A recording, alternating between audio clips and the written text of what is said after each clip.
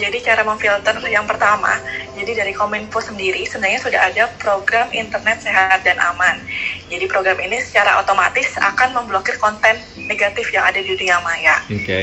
Nah, terus kalau misalnya kita dalam sosial uh, dalam menggunakan dunia maya atau sosial media dan menemukan akun-akun yang punya konten negatif, sebenarnya kita juga bisa melaporkan ke Kominfo ke website trustpositive.kominfo.go.id. Nah nanti laporan kita ini akan ditanggapi oleh internet service provider lokalnya dan nanti akan dikaji kalau misalnya benar-benar konten negatif nah nanti akan diblokir. Terus ada cara lain bagaimana cara memfilter yaitu kita usahakan dalam menggunakan media sosial kita itu memfollow akun-akun yang memang bermanfaat dan terpercaya. Jangan sampai kita justru memfollow akun-akun hoax kalau kita mau akun hoa kan berarti yang muncul di beranda kita justru postingan hoa. Nah itu.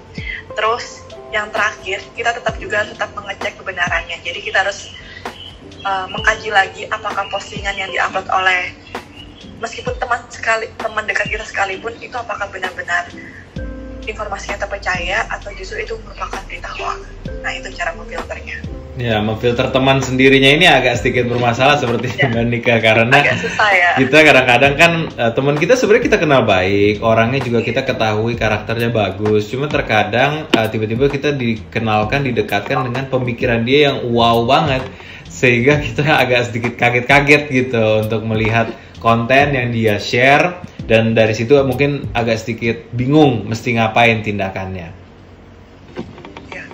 kalau misalnya mungkin kita punya teman dekat yang memang kontennya sangat berbeda dengan pemikiran kita mungkin kita bisa nggak ngefollow mereka ya? Mungkin ya. Kalau misalnya kita pribadi it's okay kalau kita nggak ngefollow teman kita ya kita unfollow aja.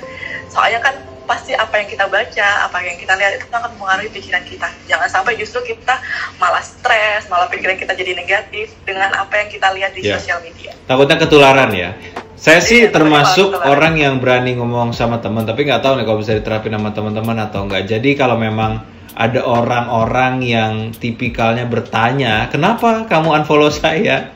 Maka saya harus kasih tahu alasannya supaya dia kan mengerti sudut pandang orang lain tuh nggak semuanya sama dengan dia. Kalau dia bisa mengerti itu, insya Allah sih harusnya pertemanan juga tetap terjalin dan dia juga semakin dewasa ya.